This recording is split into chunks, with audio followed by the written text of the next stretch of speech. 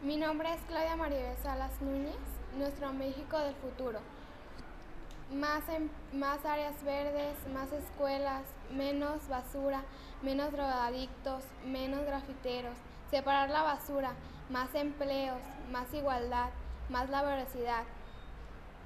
Gobernadores que cumplan lo que dicen.